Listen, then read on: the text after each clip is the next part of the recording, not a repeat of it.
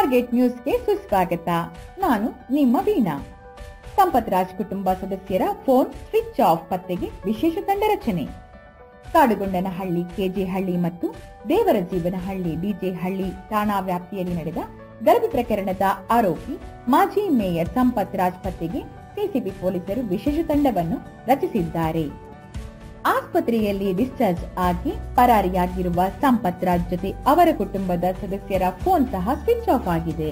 ಹೀಗಿದ್ದರೂ ಮಹತ್ವದ ಸುಳಿವನ್ನು ಸಿಸಿಬಿ ಕಲೆ ಹಾಕಿದೆ ಎಂಬ ಮಾಹಿತಿ ಮೂಲಗಳಿಂದ ತಿಳಿದು ಬಂದಿದ್ದು, ಯಾವುದೇ ಕ್ಷಣದಲ್ಲಿ ಸಂಪತ್ ರಾಜ್ ಬಂಧನವಾಗುವ ಸಾಧ್ಯತೆ ಇದೆ.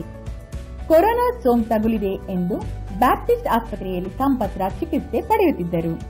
ಆದರೆ ಸಿಸಿಬಿ ಅಧಿಕಾರಿಗಳು ಅರೆಸ್ಟ್ ಮಾಡೋ ಬೈಲಿ ಸಿನಿಮಾ ಶೈಲಿಯಲ್ಲಿ ರಾತ್ರೋ ರಾತ್ರಿ ಪರಾರಿಯಾಗಿದ್ದು ಗುರುವಾರ ರಾತ್ರಿ ಆಸ್ಪತ್ರೆಗೆ ಭೇಟಿ ನೀಡಿದ್ದ ಸಿಸಿಬಿ ತಂಡಕ್ಕೆ ಶಾಕ್ ಆಗಿದೆ. ಬುಧವಾರ ಮಧ್ಯರಾತ್ರಿಗೆ ಡಿಸ್ಚಾರ್ಜ್ ಆಗಿ ಪರಾರಿಯಾಗಿದ್ದಾರೆ. ಸಂಪತ್ ರಾಜ್ ಡಿಸ್ಚಾರ್ಜ್ ಮಾಡುವಾಗ ಸಿಸಿಬಿ ಅಧಿಕಾರಿಗಳ ಗಮನಕ್ಕೆ ತರುವಂತೆ ಬ್ಯಾಪ್ಟಿಸ್ಟ್ ಆಸ್ಪತ್ರೆಗೆ ಅಧಿಕಾರಿಗಳು ನೋಟಿಸ್ ನೀಡಿದ್ದರು. ಸಿಸಿಬಿ ಗಮನಕ್ಕೆ ತರದೆ ರಾತ್ರೋರಾತ್ರಿ ಸಂಪತ್ ರಾಜ್ ಡಿಸ್ಚಾರ್ಜ್ ಆಗಿದ್ದು ಪರಾರಿಯಾಗಿದ್ದಾರೆ. ಕಾಕ್ಸ್ಟೌನ್ ನಲ್ಲಿರುವ ಸಂಪತ್ ರಾಜ್ ಮನೆ ಸಹ ಬೀಗ ಹಾಕಿದ್ದು ಸಿಸಿಬಿ ತಂಡ ಸಂಪತ್ ರಾಜ್ಗಾಗಿ ಹುಡುಕಾಟ ನಡೆಸಿದೆ.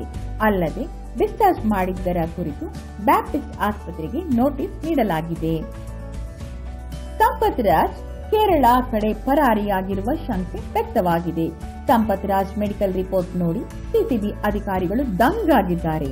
ಸೆಪ್ಟೆಂಬರ್ ಹದಿನಾಲ್ಕರಂದು ಆಸ್ಪತ್ರೆಗೆ ದಾಖಲಾಗಿದ್ದ ಸಂಪತ್ ರಾಜ್ ಒಂದೇ ತಿಂಗಳಲ್ಲಿ ನಾಲ್ಕು ಬಾರಿ ಅಡ್ಮಿಟ್, ನಾಲ್ಕು ಬಾರಿ ಡಿಸ್ಚಾರ್ಜ್ ಆಗಿದ್ದಾರೆ.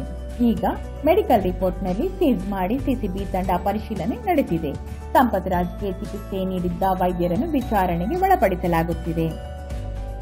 ಸಿಸಿಬಿ ಪೊಲೀಸರು ನ್ಯಾಯಾಲಯಕ್ಕೆ ಐವತ್ತು ಪುಟಗಳ ಮಧ್ಯಂತರ ಚಾರ್ಜ್ ಶೀಟ್ ಸಲ್ಲಿಸಿದ್ದು, ಮಾಜಿ ಮೇಯರ್ ಸಂಪತ್ ರಾಜ್ ಐವತ್ತೊಂದನೇ ಆರೋಪಿಯಾಗಿದ್ದಾರೆ. ಮಾಜಿ ಪಾಲಿಕೆ ಸದಸ್ಯ ಜಾಕೀರ್ ಐವತ್ತೆರಡನೇ ಆರೋಪಿಯಾಗಿದ್ದಾರೆ. ಶಾಸಕ ಅಖಂಡ ಶ್ರೀನಿವಾಸ್ ಮೂರ್ತಿ ನಿವಾಸಕ್ಕೆ ಬೆಂಕಿ ಇಡಲು ಇವರ ಪಾತ್ರ ಇದೆ.